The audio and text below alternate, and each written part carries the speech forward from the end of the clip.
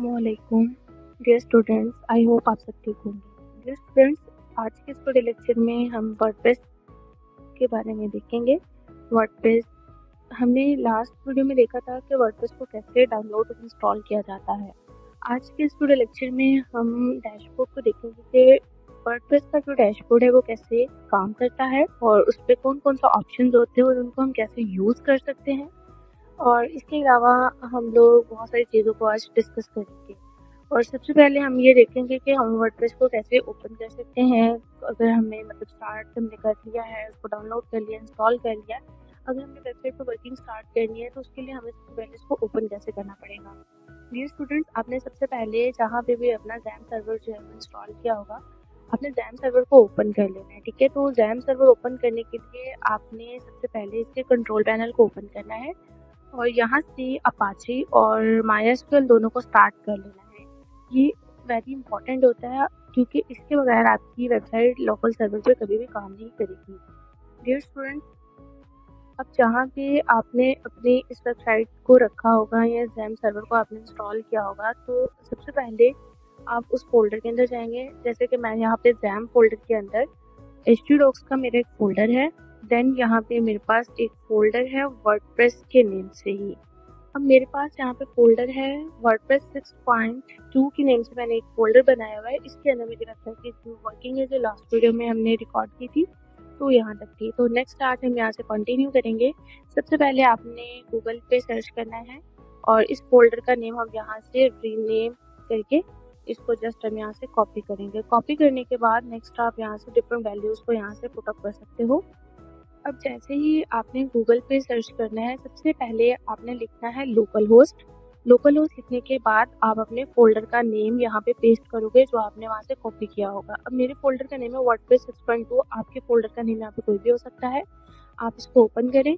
अब यहाँ से मैं डायरेक्टली वर्डप्रेस को ओपन करूँगी तो ये ओपन हो रहा है। डियर स्टूडेंट ये वर्डप्रेस का होम पेज जो है, जो हमें डायनामिकली मिलता है, जैसे आप कोई भी वेबसाइट का सेटअप जो है वो वर्ड प्रेस का सेटअप जो इंस्टॉल करते हो तो सबसे पहले जो आपको दिया जाता है वो ये वाला एक आपका थीम होता है, इसको हम थीम बेसिकली बोलते हैं, जिसमें आपका यहाँ पे लोगो नेम होता है, यहाँ पे आप कोई भी अपनी नेविगेशन बार सेट कर सकते हो, यहाँ पे आप अपनी हेडिंग्स दे सकते हैं डिफरेंट कंटेंट्स आप यहाँ पे मैनेज कर सकते हैं। कुछ भी आप यहाँ पे अपने पेज के मुताबिक जो आपको वेबसाइट चाहिए होगी तो उसके रिलेटेड आपको यहाँ से वो चीज़ें मिल जाएँगी। तो बेसिकली ये इसका यूज़र पैनल होता है। अब हम इसको ओपन करते हैं admin panel admin panel open करने के लिए अब आपने न्यू टैब पे सर्च करना है और न्यू टैब जैसे आप ओपन करोगे, आपने एक साइड पे न्यू टैब ओपन करनी है दूसरी साइड पे आपने अपनी पहले वाली टैब को ओपन ही रहने देना है। यहाँ से आप डायरेक्टली इस चीज़ को यहाँ से जस्ट कॉपी करेंगे।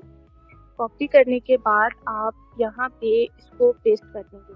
पेस्ट करने के बाद नेक्स्ट आपने वेरी इंपॉर्टेंट जो चीज़ लिखनी है वो ये डब्ल्यू माइनस यहाँ पे आप इसको अंडरस्कोर बोल सकते हो हाइफन बोल सकते हो, जो भी आप इसको करना चाहो डब्ल्यू पी एडमिन के नेम से आपने यहाँ से इसको सर्च कर लेना है।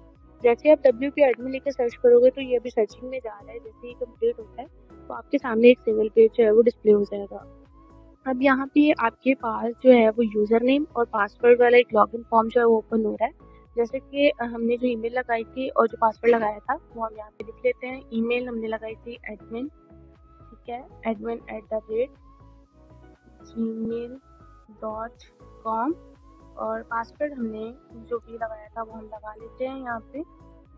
पासवर्ड लगाने के बाद आप जस्ट यहाँ से लॉग इन करोगे। तो लॉगिन जैसे आप कर रहे हो, ऊपर से रिफ्रेश हो रहे हैं, ठीक है? जैसे कंप्लीट होगा तो आपको आपके डैशबोर्ड पे मूव कर जाओ। डियर स्टूडेंट्स ये था हमारा डैशबोर्ड का पेज आपने यूज़र पैनल कैसे ओपन करना है एडमिन पैनल कैसे ओपन करना है, दोनों मैंने आपको क्लियर बताया है, ठीक है?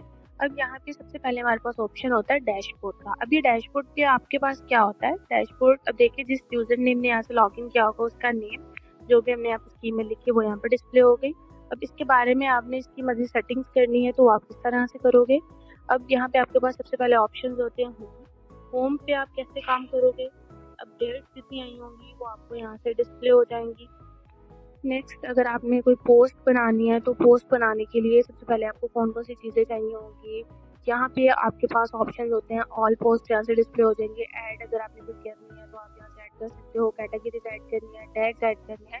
ईच एंड एवरीथिंग आपको यहाँ से सारी सजेशन जो है वो मिल रही हैं। हम यहीं से इसकी जो है, आप यहाँ से एडिट कर सकते हो डिलीट कर सकते हो व्यू आप चेक कर सकते हो। कोई भी पेज बनाना हो तो कैसे करना हो, ये सारी चीज़ें आपको यहाँ से डैशबोर्ड से इजीली मिल जाएँगी। कोई भी आपने इसकी लाइब्रेरी को चेक करना है, कोई न्यू मीडिया आपने ऐड करना है फॉर एग्ज़ाम्पल कोई पिक्चर आपने इसमें ऐड कर है तो आप यहाँ से जस्ट आप ऐड न्यू पे क्लिक करोगे और यहाँ से आप अपनी पिक्चर्स वगैरह को इम्प्लीमेंट कर सकते हैं। कोई भी आपने पेजेस क्रिएट करने हैं तो आप सबसे पहले ऑल पेजेस पर क्लिक करोगे। और यहाँ आपके पास पेजेस का ऑप्शन हो जाएगा। तो आप यहाँ से इसमें directly add new page just click करेंगे और इसके अलावा आपने यहाँ से किसी भी आइकन या किसी भी नेम पे क्लिक नहीं करना क्योंकि आपने न्यू पेज क्रिएट करना है। तो न्यू पेज क्रिएट करने के लिए सबसे पहले आपको इस चीज़ की नीड होगी कि आपने जस्ट न्यू पे क्लिक कर देना है। जैसे आप न्यू पे क्लिक करोगे तो आपके पास सबसे पहले टाइटल का ऑप्शन होगा। फॉर एग्ज़ाम्पल मैं यहाँ पर टाइटल लिखती हूँ टेक्स्ट और टाइटल लिखने के बाद आप कोई भी यहाँ से इसमें मतलब देखें, मैंने टेक्स्ट लिखा है तो यहाँ पे टाइटल जो है वो डिस्प्ले हो गया। अब जस्ट मैं इसको पब्लिश करूँगी। मैंने यहाँ से पब्लिश पर क्लिक किया तो ये पेज मेरा पब्लिश हो जाएगा, ठीक है? ये मेरा पेज क्रिएट हो जाएगा टाइटल सेव हो जाएगा। तो अब यहाँ से हम इसको व्यू पेज पे क्लिक करेंगे तो हम अपने पेज की जो आउटपुट होगी वो यहाँ से चेक कर सकते हैं। अब ये देखिए यूज़र साइड एडमिन साइड के अंदर भी आप यूज़र साइड की आउटपुट को चेक कर सकते हो। इस साइड पे मैंने यूज़र पैनल ओपन किया हुआ था और पेज अगर मैं यहाँ से रिफ्रेश करूँ तो मेरे पास यहाँ पे वही कंटेंट जो है वो यहाँ पर डिस्प्ले होना ऑटोमेटिकली स्टार्ट हो जाएगा। तो अब यहाँ पे मैंने पेज क्रिएट किया, लेकिन यहाँ पे मैंने वो पेज डिस्प्ले नहीं करवाया। लेकिन ऑटोमेटिकली यहाँ पे जिस नेम से मैंने पेज बनाया होगा, वो यहाँ टॉप नेविगेशन बार में आपको वो पेज डिस्प्ले हो जाएगा। अब इसके अलावा आप कोई भी न्यू पेज और बनाओगे तो वो यहाँ पे ऑटोमेटिकली आपके सैंपल पेज की उन्होंने हेडिंग पहले से दी है। न्यू पेज आप जो भी यहाँ पे बनाओगे तो नेविगेशन बाद में ऑटोमेटिकली ऐड हो जाएगा। पेजेस बनाने के बाद आप यहाँ से पेजेस को डिलीट कर सकते हैं पेजेस का प्रीव्यू ले सकते हैं, उसको एडिट कर सकते हैं, कुछ भी आप यहाँ से इसको मैनेज कर सकते हैं इजीली एसेसरी हो जाएगा। अब नेक्स्ट आप यहाँ पे कमेंट सेक्शन यहाँ से चेक कर सकते हैं कि किस यूज़र ने हमें क्या कमेंट किए हैं, उनका रिप्लाई देना है, ये जो भी आपने सेटिंग करनी है। तो आप इसके साथ ईमेल सेटिंग पे कर सकते हो। तो आप जस्ट यहाँ पे कमेंट को रीड आउट करोगे और वहाँ से प्रूव करोगे तो ये आपको यूज़र पैनल पे डिस्प्ले हो जाएगा। अब आपने अपनी वेबसाइट पे प्लगइन्स को इंस्टॉल करना होता है अपेयरेंस होती है। अपेयरेंस के अंदर आप ये चीज़ चेक करो तो यहाँ पे थीम है। तो थीम बेसिकली क्या होता है, सबसे इंपॉर्टेंट चीज़ आपकी ये होती है कि आपने वेबसाइट में सबसे पहले थीम इंस्टॉल करना होता है। और थीम आपने किस बेस पे इंस्टॉल करना है? फॉर एग्ज़ाम्पल आपने सबसे पहले अपनी वेबसाइट को देखना है कि आप वेबसाइट किससे रिलेटेड बना रहे हो। फॉर एग्ज़ाम्पल आप वेबसाइट बना रहे हो ई कॉमर्स से रिलेटेड ठीक है? तो ई कॉमर्स के लिए आपको यहाँ से ई कॉमर्स का थीम ही आपको इंस्टॉल करना पड़ेगा। जिसे आप स्कूल एजुकेशन सिस्टम के लिए बना रहे हो तो एजुकेशन सिस्टम से रिलेटेड बनाना होगा। तो थीम इज़ वेरी इंपॉर्टेंट होता है कि जो आप कुछ भी आप वेबसाइट का स्टार्ट करने लगे तो थीम को आपने सबसे पहले देखना है कि कौन सा थीम कहाँ पे जो है वो आपने मैनेज करना है। नेक्स्ट आप यहाँ से प्लगइन उसके बारे में इंस्टॉल करोगे कि कौन से प्लगइन को हमने कहाँ पे इंस्टॉल करना है, कैसे इसको अप्रूव करना है, कैसे इसको एक्टिव करना है डीएक्टिव करना है। तो यहाँ पे हम जस्ट उस प्लगइन का नेम लिखेंगे और यहाँ से वो डाउनलोड होना स्टार्ट हो जाएगा। उसके बाद हम इसको एक्टिवेट और डीएक्टिवेट कर दिया करेंगे। एक्टिवेट और डीएक्टिवेट प्लगइन्स को हम नेक्स्ट एनुअल लेक्चर्स में देखेंगे कि कैसे कोई भी सिस्टम को हम प्लगइन को कैसे इंस्टॉल कर सकते हैं एक्टिवेट कर सकते हैं और डीएक्टिवेट कर सकते हैं। नेक्स्ट हमारे पास कितने यूज़र्स हैं ऐड कितने यूज़र्स को करना है, कितने प्रोफाइल्स को लेना है। डिफरेंट सेटिंग्स हम यहाँ से देख सकते हैं। कि आपने परमा लिंक्स कितने ऐड करने हैं, इसमें राइटिंग क्या है रीडिंग क्या है डिस्कशंस कैसे कर सकते हैं परमा लिंक्स कैसे ऐड कर सकते हैं, ये डिफरेंट सेटिंग्स होती हैं आपके डैशबोर्ड की।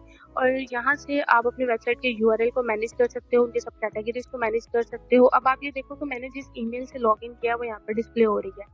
तो यहाँ पे हमारे पास सारी इन्फॉर्मेशन अवेलेबल होती हैं। तो बेसिकली ये हमारे पूरी जो है वो डैशबोर्ड का ओवरव्यू था कि हम कौन सा पेज कौन सी पोस्ट कौन से कमेंट्स कैसे रीड आउट करते हैं अपियरेंस में थीम्स को कैसे लेकर आ सकते हैं, ये सारा इसमें हमने डिस्कस किया। अब लास्ट में हम देखते हैं कि हमने इसको लॉग आउट कैसे करना है। किसी भी वेबसाइट पर काम करने के बाद आपने यहाँ से जस्ट उसको लॉग आउट कर देना है। जैसे आप लॉग आउट करोगे तो आप अपने बेसिकली पहले वाले पेज पे वापस चले जाओगे, जिस पेज से आप लॉग इन करोगे। अब दोबारा आप अपने एडमिन और पासवर्ड के साथ अगेन आप ऐड करोगे तो आप वही उस डैशबोर्ड पे चले जाओगे। तो बेसिकली ये हमारा था डैशबोर्ड का overview thank you so much